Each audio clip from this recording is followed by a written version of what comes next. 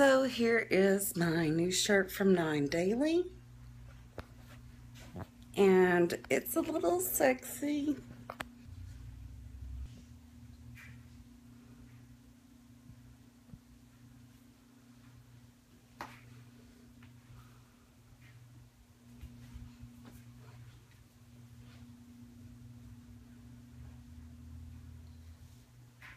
And this is a size large and I wear um, between a 10 and 12 in pants.